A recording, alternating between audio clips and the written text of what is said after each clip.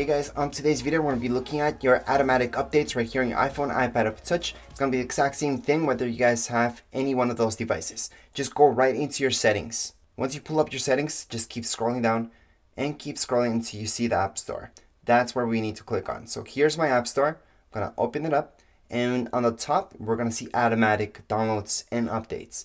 So right here is where we should do this. So if you just want to turn on or off automatic updates, this is how to do it. So I'm just gonna tap right there. I just turn them on. So right now, my apps will update by themselves. I don't have to go in and update them manually ever again. If you want to turn them off, same deal, just tap on it and right now it's turned off. So that's how you guys can turn on and off any automatic updates for your apps. I'm just gonna leave it on for at the moment. Just close this up and I'm done. Anyways, that would be it for this video. If you guys have any comments, questions, you guys can write down here in comments area. Don't forget to subscribe and rate. Thank you.